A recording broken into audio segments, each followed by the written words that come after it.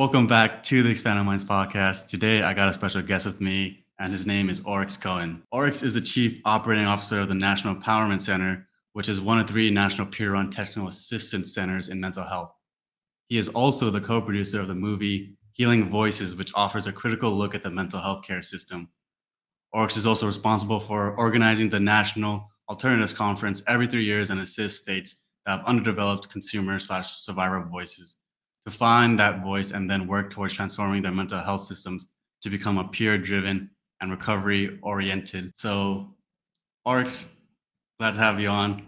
And uh, and so, how are you doing today? For having me, Ezekiel. Yeah. All right. So, for like for people who don't know who you are, can you give a quick timeline of your life and how you got started with you know the National Empowerment Center? Sure. I grew up in Oregon, and um, when I was very young, my parents got divorced, um, which I think had a big impact on me um, and kind of led to future issues that I had in my life. Um, but yeah, w- when you're a kid, you don't um, necessarily dream of working in mental health. Um, I, I I had other other aspirations, you know, at a young age. Um, but then I ended up having my own um, experiences, my own mental health issues and altered states uh, when I was um, younger. Um, it started with um, some pretty, I guess you would call it depression, pretty pretty severe depression. Um, when I was living in Oregon, um, which I was able to get through that. Okay, um, and then I had some other um, experiences with more expanded states, if you want to call them that. Um, when I was 26, that started um, after I moved out to Massachusetts. Um, and that's where I really got involved with mental health because I got locked up in a inpatient psych ward um, at that age, and that was really eye opening. Um, but that also inspired me to um, want to do work in this field, and that's how that's how I got started. Um, the patients were I was at first I was afraid of the other patients because of all the things you hear about um, you know crazy people and stuff like that but I really bonded with the patients there, and um, I was just inspired at that point to try to maybe create some alternatives that um, were a bit more helpful than being locked locked up and um, diagnosed and drugged and lots of other things that go on in those facilities like um, isolation and seclusion and restraint and things like that that actually can be traumatizing to people. Um, and that whole experience was pretty traumatizing to me. Um, so that's that's kind of got what got me started and then um, i got a job out in massachusetts that was in, involved with mental health and I also um, got to meet a guy named Will Hall, and he now has a, a show called Madness Radio, by the way, which is awesome. But yeah, I, I watched the episode he sent me. Is I mean, you got you guys talking together. That's a very good conversation. Yeah, yeah. yeah. Um, so we we met each other and we started an organization called the Freedom Center in Massachusetts, um, which is really independent, no government funding. Uh, we did a lot of great things. We met to support each other uh, at basically almost every week, and we had yoga, we had acupuncture, we had a radio show. Um, we did all kinds of speaking stuff. We did actions, but and that was completely basically a vol- volunteer organization. Um, and then that experience led to me getting a job um, starting a place that was actually funded, a peer run organization called the Western Massachusetts Recovery Learning Community. It's now called the Wildflower Alliance. Um, so I was involved with getting that organization started, and I was hired as one of the first co directors of that organization. Um, which actually did a lot of similar stuff to what the Freedom Center was doing, but could do it at a, at a bigger scale because of funding. And then, I, so I worked for them for like four or five years, and then, um, then the job came open at the National Empowerment Center, um, and I applied for that, and I was able to get that job. Um, so I started with managing the. We have a big grant, a big federal grant um, and we're a national um, peer-run mental health organization, which is kind of cool that our government funds those types of organizations. You mentioned that there are three. There's actually now five that are funded by the government. Um, so I started out managing the grant, and um, and then I, I got uh, kind of promoted to chief operating officer, and then um, recently one of the founders and the C- longtime CEO Dan Fisher retired. So I have been. It's been almost a. It'll be a year in April, a year next month, um, that I've taken over as the CEO. So that's the long kind of history of how I've ended up from um, psych wards to be a CEO of a national organization. I got fired yet, so that's good.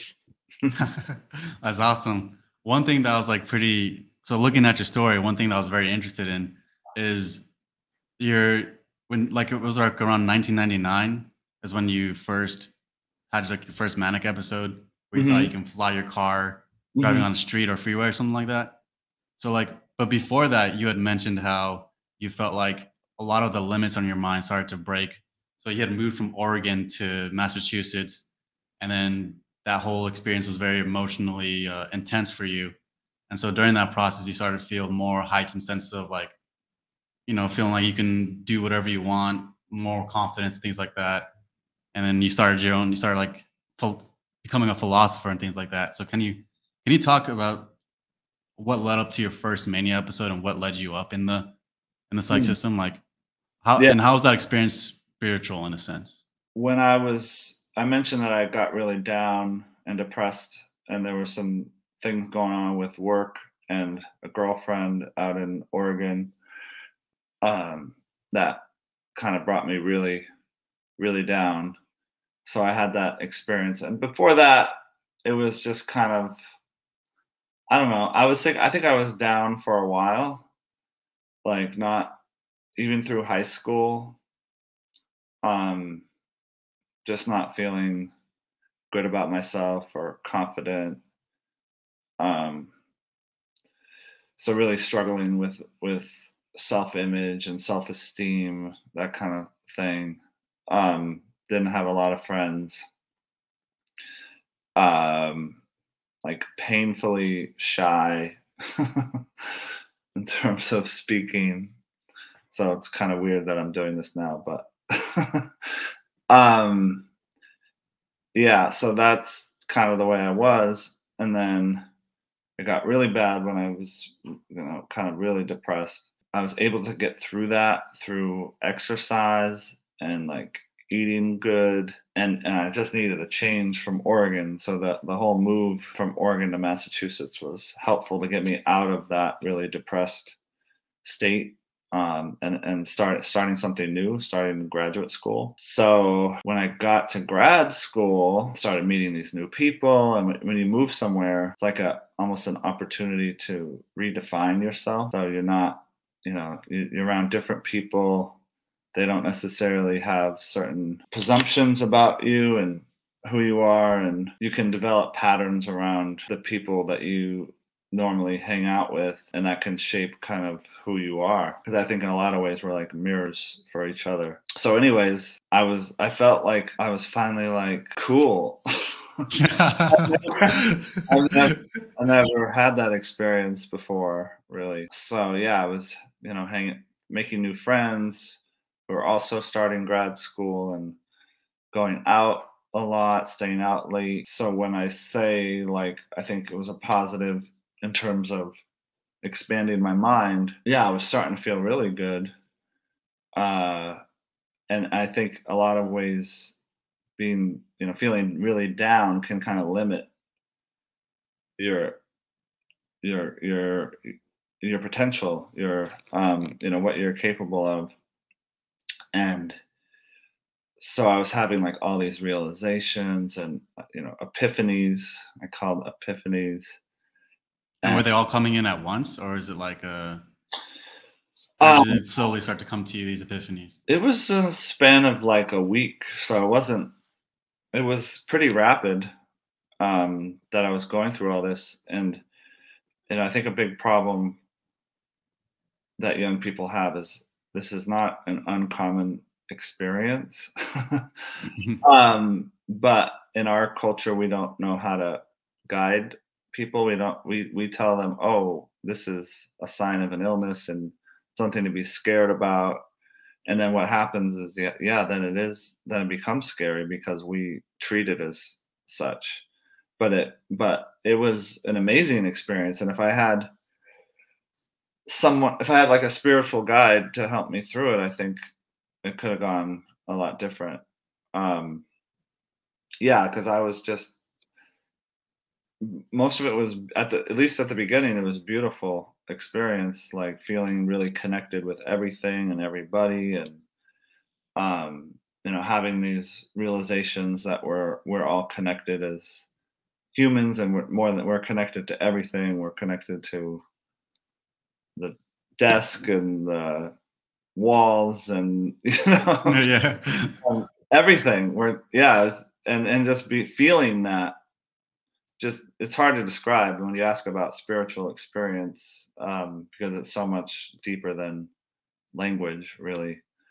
Um, but that those were some of the things that i was going through and i um, i had like a kundalini experience where all like rush to my head and I could feel that very powerful um, vibrations going on. Um, but I had no idea what was going on because we're not, I wasn't educated in, um, in any of this kind of stuff. So, um, what I think what happened for me is what happens to a lot of young people is they think, oh, I'm I'm just really special. That's why this is happening to me. And then you get young people thinking they're Jesus and all this stuff when it's kind of a more of a natural um, spiritual development process that they're going through.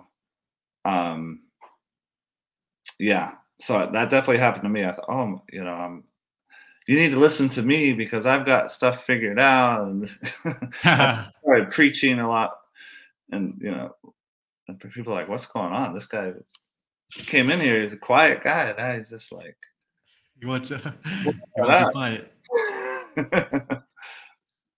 That's interesting because um I think I, we talked about a little bit about it like uh, in San Diego, but like one of the things I had mentioned was like how I, would, I was getting these intense headaches and I was I checked into like the doctor because I was like, okay, I'm having these intense migraines, and this is like around 2019.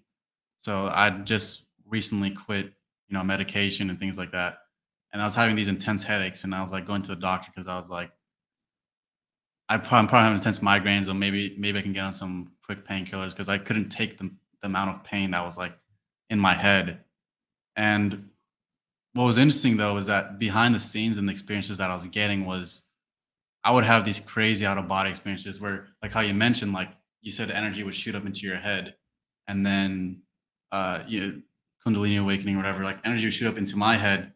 Like during the nighttime, I would have these rushes of energy into my head, and then sometimes I'll pop out of my body. So like the energy would just build up in my head, and then also I was, like literally I could hear the popping sound. I was like, and I'd come out of, I just launch out, and I'd see. I don't even remember what I saw most of the time. I just remember the process just kept happening over and over again. So I really, I remember how the process happened, but I just don't remember some of the stuff I saw. But and so uh, at what point though for you did you did it become uncontrollable for you or was it more of like a you had everything under control but people started to think that you were going crazy like at what point did it did it start coming under a stigma or label that what you're going through was something that could be you know harmful or dangerous to people? Or yeah yeah. So these are these these are um you know people i i didn't know um previously. So um they they were a lot of people got concerned that i was you know talking a mile a minute and this kind of stuff. So they they it was the um stu- like the students that recommended I go see a psychologist um, on campus. So I did that, and I, I kind of like talk circles around him.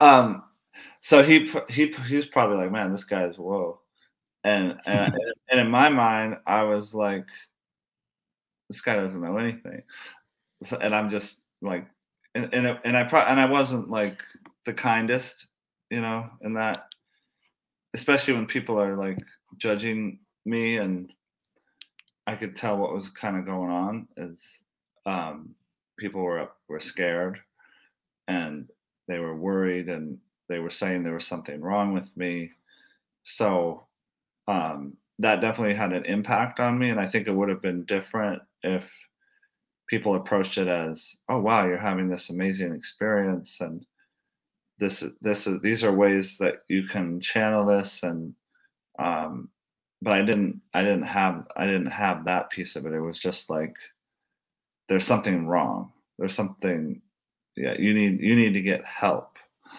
Um, and I didn't I didn't want that.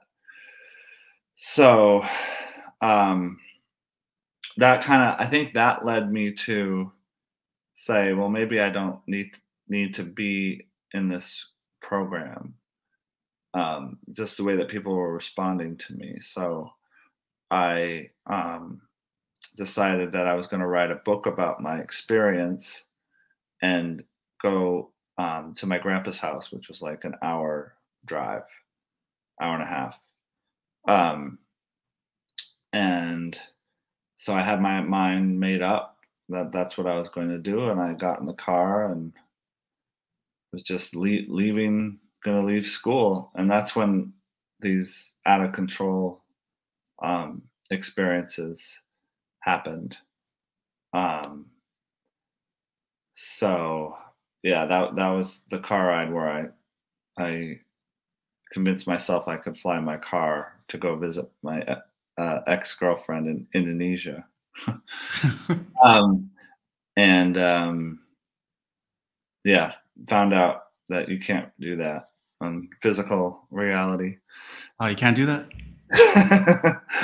um, but I also had some other really wild experiences um, when I was going through the state uh, before that.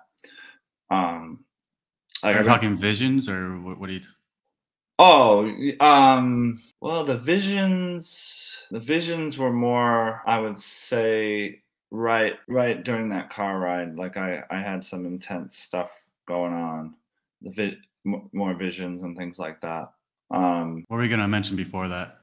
Oh, um, but then I had two other states where I had all kinds of st- uh, visions. so I think I was was going to the bookstore to try to return my books or, because I was leaving um, the college, and um, and then I was I think I was talking a lot in the bookstore, and people were looking at me like, oh, and then and then um, and then I so I was talking a mile a minute, and they were like I, all these people were looking at me while I was talking. I don't I don't remember exactly what I was talking about. Some some deep, you know, something about how we're all connected and blah blah blah. Um, and so everybody's like staring at me, and then and then I made a joke about how I can hypnotize people, and and because they were like looking at me like. and when I made that joke, then they like snapped out of it, and I was like, "Oh, well, I can unhypnotize people too." um, so I remember that was a powerful thing. Just like, oh man, I can, I can. That's the way I interpret it in that moment. Like I can, I can hypnotize people, and they did seem hypnotized, like looking, you know, staring at me. They're probably thinking, "What is this guy doing?" I got to keep my eye on him.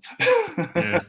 But um, that was that was a powerful experience, and I interpreted in that moment as like I have this power to hypnotize people.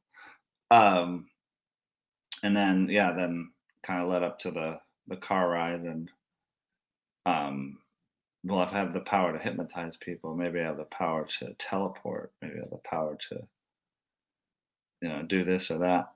Um so yeah, there was some logic behind it, but it was, you know, an, an altered state not in touch with um, physical reality.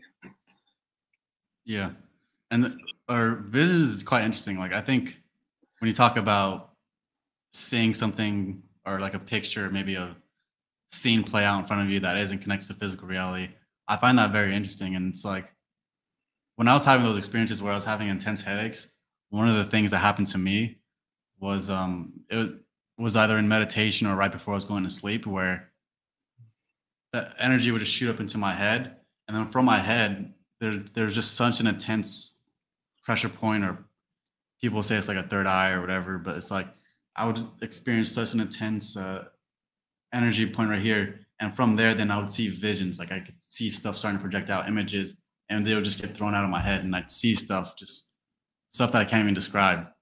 Quite interesting. But right. and so and when it comes to like people who are that's kind of what I thought about when it comes to people who are schizophrenic or see stuff that aren't there. Is it is it that they lose control of like they can't control that mechanism and they just shoot out of their mind?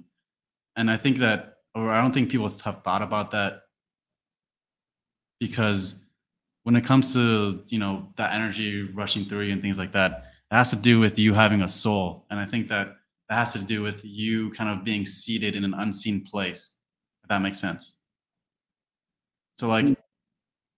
in order for like there's a part of you that's pure energy and that receives these visionary experiences i'll just word it like that and mm. then they come to you and then they get projected out so i think that's a better way to put it and hmm. so and so for you like have so when you're having visionary experiences, what was it like for you? And did you kind of experience that intense energy in your head or was it something else?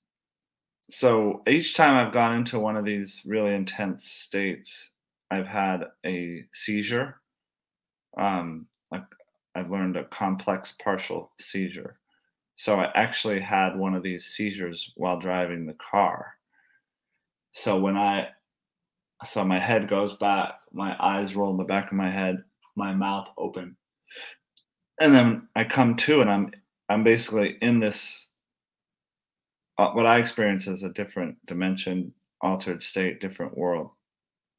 Um very dangerous to to be in a car when that happened. yeah. Um because I didn't know what the heck was going on um the first time that it happened.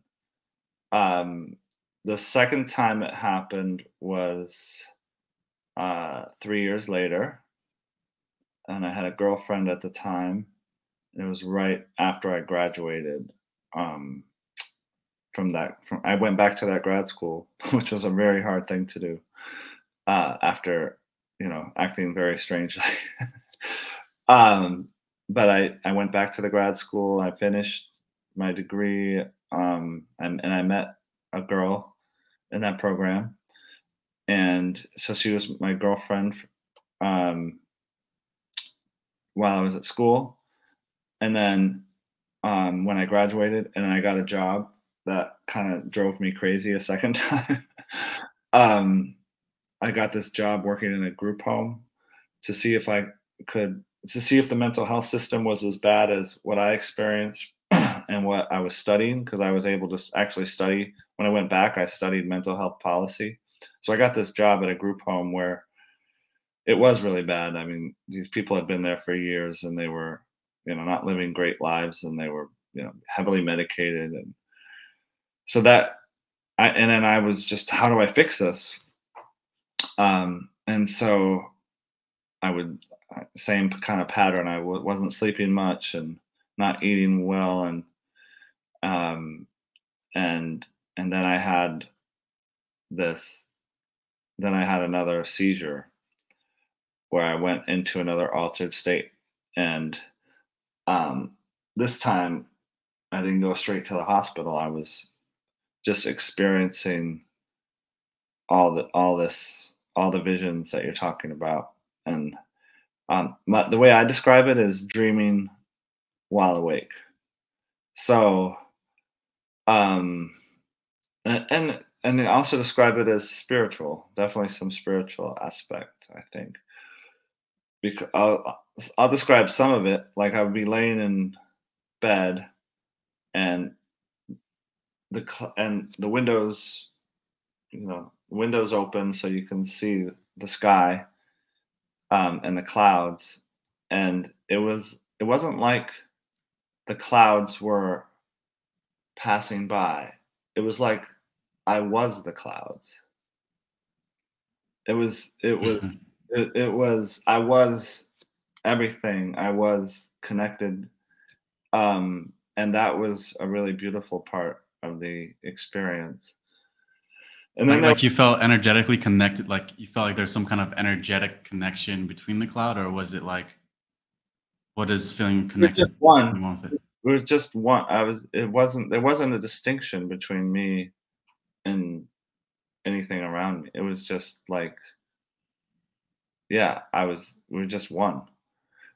And um yeah, so that was that was an amazing experience. And then the kind of shadow side of these experiences, at least for me, was um some really intense, difficult visions. Um so I'll give you a couple examples of things that I experienced.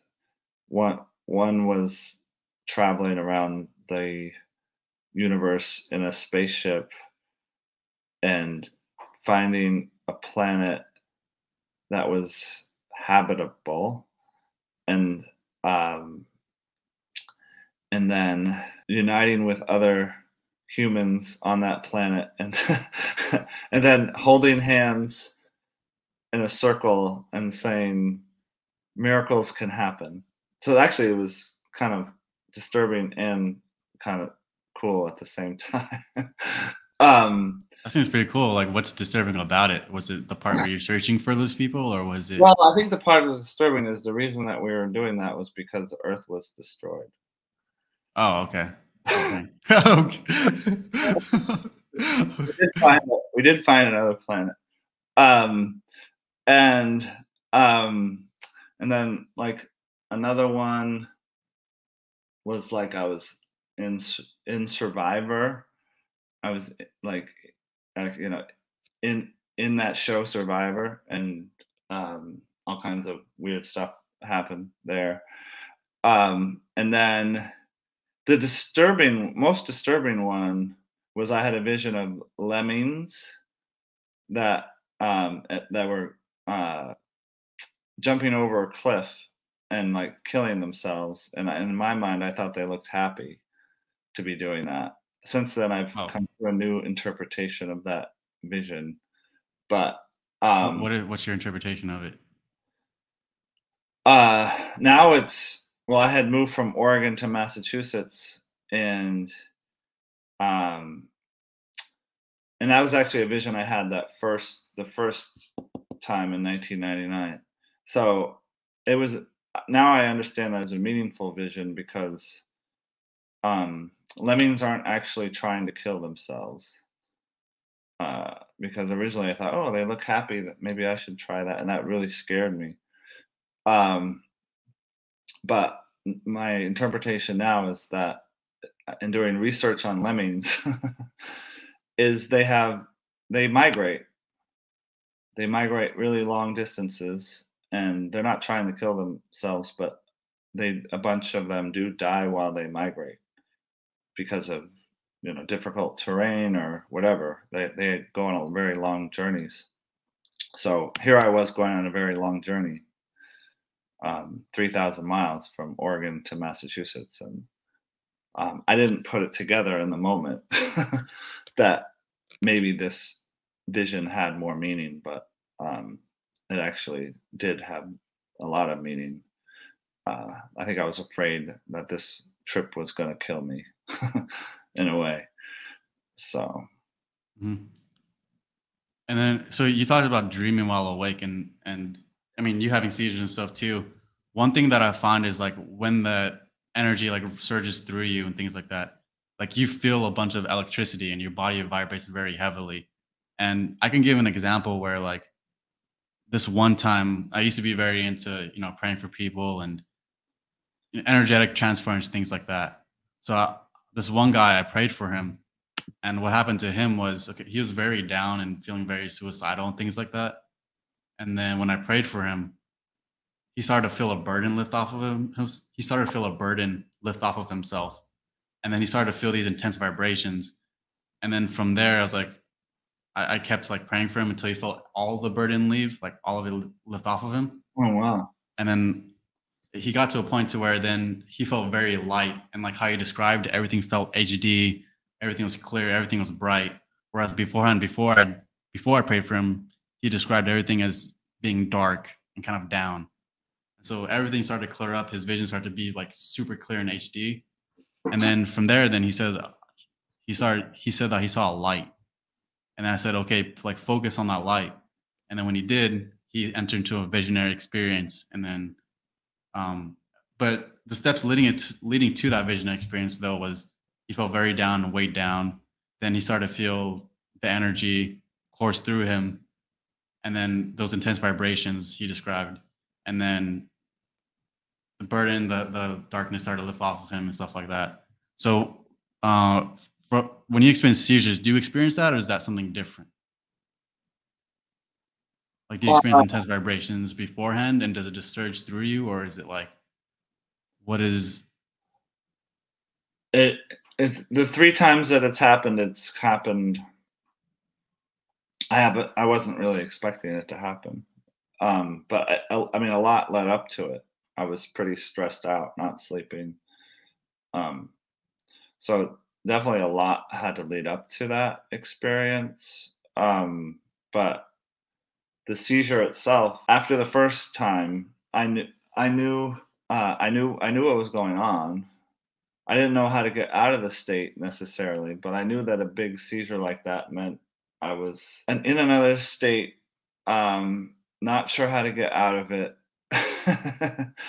um, so there's another myth about quote unquote crazy people is they don't they don't know what's going on. They they have no self reflection. They can't learn anything.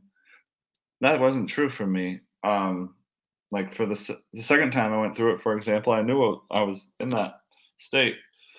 I didn't know how to get out of it. I, but I knew I, for example, I should not drive a car. So I, you know, made a, my, my girlfriend, um, at the time, uh, drove me around places while I was going through that. Um, so I was able to go through the experience, you know, much more safely. Um, and by the way, I'm now married to her, so she's been with me through two of these experiences. Um, yeah, we have two kids, house, living living a living a version of the American dream. yeah, I'm curious about. So I'm gonna pull up a bipolar like one diagnosis, but what I'm curious about is like how does the mental health uh, system treat somebody like this versus um, some or versus like what's your ideal way to treat somebody with this diagnosis? So I'm gonna pull up like what the what do you call it? with the DSM definition. Yeah, the DSM says. So that's the DSM chart, and so you know, Yeah. people can take a look at it. This is basically what a manic episode is. So how does a med- mental health system treat somebody like this versus like with what you do and things like that? How do you see somebody like this right, diagnosed with these labels? right. Um, yes. So I'm familiar with the DSM. um, and I was diagnosed with bipolar. And this is bipolar one, by the way, bipolar one diagnosis. Yeah, bipolar one. Um, and uh, but I was a psychology major as an undergrad, and this was grad school. I was in grad school, so I mean, I think one benefit for me was that I rejected the medical model. I rejected the disorders in general. Um, and I kind of saw through it as a human invention, a way of describing human behavior. Um, so I was I was an annoying um, psych patient that challenged the psychiatrists and challenged the social workers and say, you know, there's a lot of different ways to look at these experiences. This is one way to look at the experience, the biological way. But why isn't there a test? Why are you telling me I'm something and not giving me a why why are you telling me that I have an illness or a disorder? And with any other disease, there would be some sort of blood test, there would be some sort of if you're saying this is a physical, you know, chemical imbalance in my brain, wh- where is the where's the test?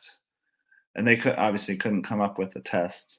They just oh this guy's uh um, you know, being non-compliant, difficult mental patient, not doesn't have insight into his disorder. Um, so, um, yeah. So as far as the question of how we look at these things, I think it's very, very important, very important. And um, in our Western culture, we look at these experiences as pathological, as disease, as illness, um, something's wrong. Um, but other cultures don't look at these experiences that way. So everything that's listed here, you know, more talkative, um, increased self-esteem or grandiosity, um, increased energy, bizarre behavior, all of this stuff um, looked at through a different lens, then the outcomes can be quite different. So if we look at these experiences as potential spiritual awakening, as um, having deep meaning for individuals rather than being meaningless, um, then the outcomes are again quite different. So in cult, there there are cultures where mental illness, quote unquote, mental illness doesn't really exist because, and a lot of them are indigenous, more indigenous cultures, where they have shamans, and many of the shamans have gone through similar things, and it's not seen as an illness; it's seen as a gift, seen as being in touch with um, something real that's out there you know spiritual uh, spiritual connection.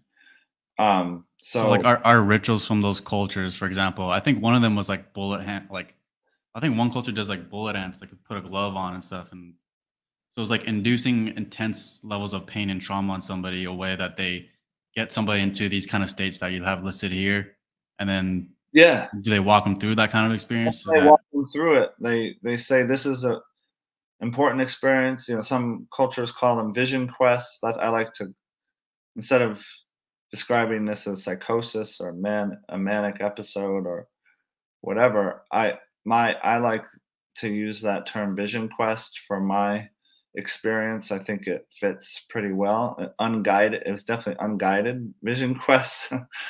um, but yeah, it can be extremely valuable um, and in those cultures that um, do that as a ritual, they actually don't eat, they don't sleep for a few days. They might do something like the bullet ants or uh, some, or peyote or whatever it is that um, induces those states on purpose. Um, and oftentimes these states are the most, those experiences are the most experience, most important experiences that people have in their lives and they get their names from them they're named from, you know something they see in their vision it could be a bear it could be um, something to do with the sky trees or whatever. That's how they get but that name comes from they, they are actually named your identity is through your vision quest. Um and um so that's quite a different way of handling these experiences and, and understanding these experiences and look and, and the way that these cultures look at these experiences. And it's it's no surprise that a lot of these cultures don't really have an issue with um, with mental quote unquote mental illness or dep- what is depressed being dep- they don't have any clue what depression is. Um, and then uh, unfortunately, a lot of indi- indigenous cultures that encounter the Western world uh, and and have you know basically survived attempts at and some and sometimes successful attempts at genocide so severe trauma um, they still have these rituals in those communities but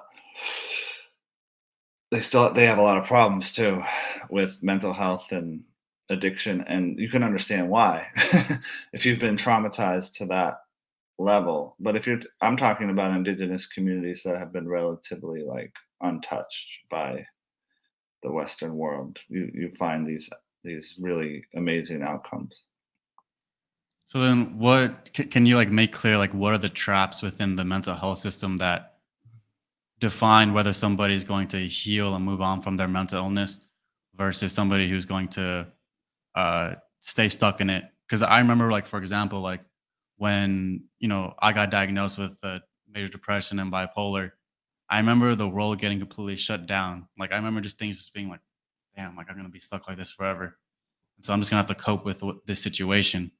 So, like, what lies have you seen that keep people stuck in their diagnosis and kind of in this hopeless state um, and then how, how can you see a way out of it and healing past it well i mean i think unfortunately the medical model system is is designed to create dependency and it's, des- it's designed to have not so great uh, outcomes because if someone doesn't fully heal then they're going to consume the products, and let's be honest, the product is psych drugs for the most part. Psych, uh, the psychiatric drug industry is the most profitable industry in the US, the most profitable. Um, you see drug ads out there for everything. So we have to be honest about where this is coming from. And a lot of it has to do with dollars. Um, it's making a few people very, very rich to um, to tell people that they're sick and that they need their drug for the rest of their life. Imagine that. More and more people sick, the more people that need your drug the rest of their life, the more money I make. so um, that we, we we have to mention that um, because it's it's definitely there. So yeah, the system is is designed to tell people that they're broken and they need they're going to need some sort of support for the rest of their lives. So how do you get out of that? Um, and I'm not saying that the drugs don't help a lot of people because they have helped a lot of people. So it's not as simple. Um, the drugs have helped people since we learned how to, you know, that different um, plants had different things in them that made us feel different ways, and you know we've been we love dr- humans love drugs from from the you know very early on. So yeah the drugs can can help a lot of people. Um, but if when the problem becomes when you package that and you tell people that's the only way to go that this is a cure for a chemical imbalance which is a straight out lie that um, you it, it's just obvious that it's a it's a um, it's it's about making money um Wait, what so, about it makes it a lie though? Like when they tell you like you can get it's a cure like this pill would be a cure.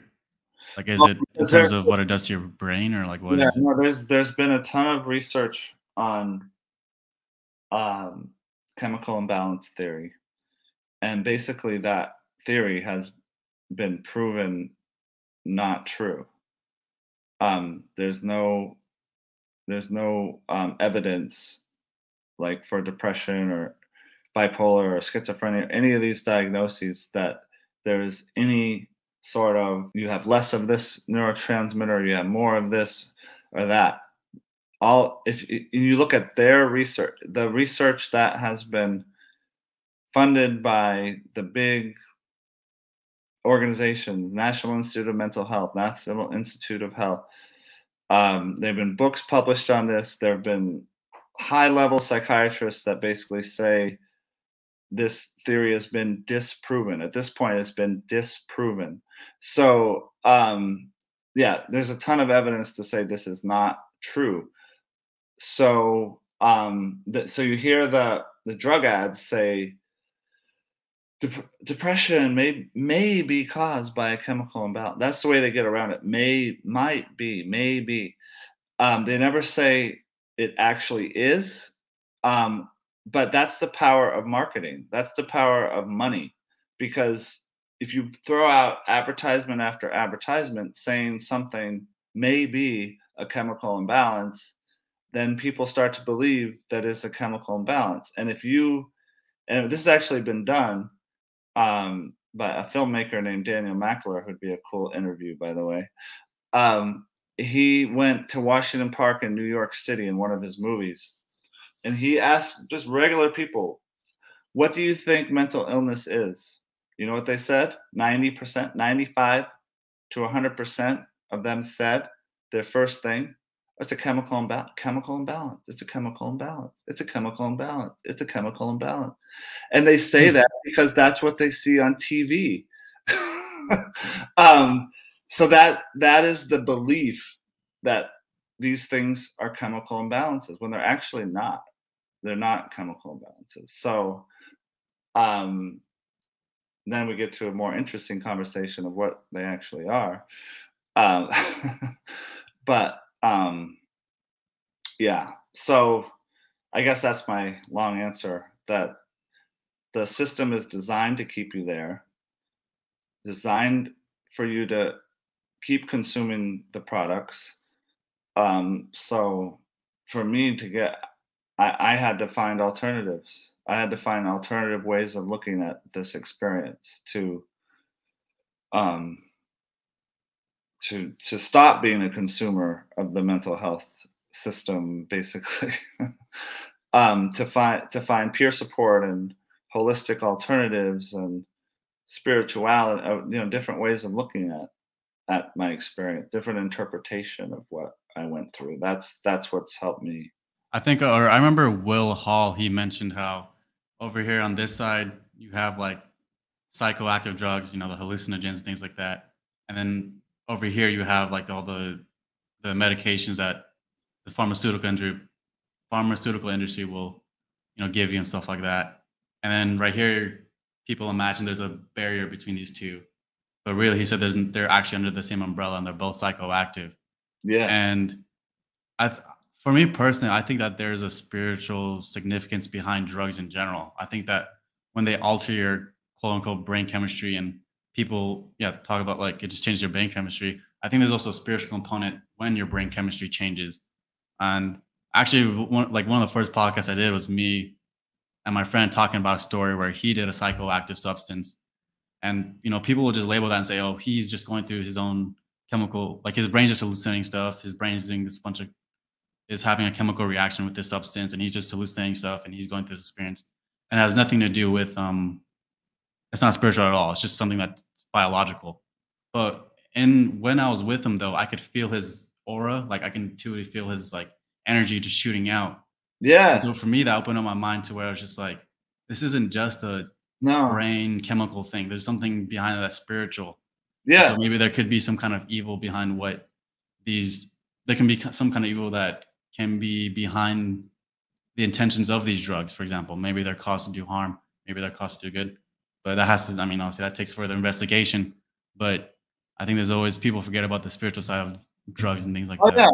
Yeah, yeah. Um, that's a very interesting one because um, there, there's been research on hallucinogenics and uh, and the and and you really can't distinguish the um, the experiences that are caused by hallucinogenics versus those of us that have gone through those experiences without the help of drugs.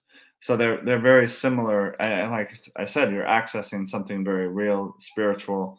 So it's interesting because um, there's different kind of stigmas about both. Like if if if if I have my experience that's caused by a drug, let's say, then I can say, oh well, it was it was the drug. I'm I'm not crazy. Like it was it was the drug that made me go through that experience. um, but then you have the flip side of that where it's like, well, I actually, I took this drug and I had a very real spiritual experiences, but people are saying this isn't real because the drug, you know, I took this drug, so it's all they're saying it's all the drug. So I, there's like multiple sides to that one. yeah. Uh, so like, what are some fears around going on psych like psychiatric drugs and then getting off of them? Like, because I know, I especially with my personal experience with them, it's kind of it seems very at least when I was getting into it, it seemed very risky. Um, and I know for some people, like that's the reason why they hesitate.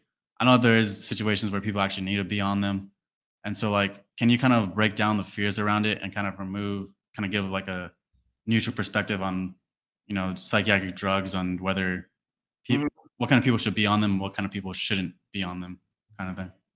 Yeah, surprisingly, I can do that. be pretty, pretty, be pretty neutral because I am actually pro-choice on drugs of all kinds. Um, so, like you said, that they're all under the same umbrella of psychoactive substances. So, um, I would say if something is working for you, then do it. Um, you you know, with any drug, you should know what the risks are involved, um, what potential side effects, um, and um, ultimately, it's people's decision. I've I've had times in my life where drugs have been helpful um, for me, um, whether that's prescribed or um, otherwise. Um, so yeah, I think that's a, a in a lot of respects a personal choice. Um, then there's the the more controversial areas where people ask on that very kind of low and i have to emphasize very very low percentage of people where they may be dangerous um, to themselves or other people. That's where people tend to go with this. And I have to say, it's a very, very small percentage of people. But if you're going to go that go there, um, when you say when should people be on medication, my my my opinion is, uh, you know, more on the, I guess, abolitionist. That's my personal thing. Like um, I'd rather see someone um, kind of physically kept safe, whether that's uh, you know temporarily you know in a in a jail cell or so, something that keeps them safe and keeps other people safe rather than using a chemical substance to try to keep someone safe. Um but i can definitely see the argument the other way like well you know if if they're that out of control then um maybe they need to be sedated. Um so i can see that argument. I don't that's not where i land with it but um yeah it's a tough it's a tough tough these aren't easy conversations. There's no easy answers to them. So but i will say if you if we can create communities where people are loved and valued um then um then these situations are much much less likely to to happen. You know horrible things like school shootings and you know violence are are much much less likely to happen. It's about what kind of communities are we creating for people to live in. Um, and that's that's the kind of work that i'm doing trying to create positive spaces for people. Oryx, uh, final question. Any last advice for people and where can people find you? Yeah um advice for people is to trust yourself um if something doesn't feel quite right in what you're doing for yourself then you need to trust that um find what find what works for you and um you are the expert on your own experience. And in order to find us, you can go to www.power2u.org. The number two, the letter U, power2u.org. And my movie Healing Voices is available on Amazon Prime. If you just go to Amazon Prime, plug Healing Voices, you will find the the film. All right, awesome. Thank you for coming on, Oryx. Thanks for having me. This was a great, uh, great talk. Appreciate you. I appreciate you too.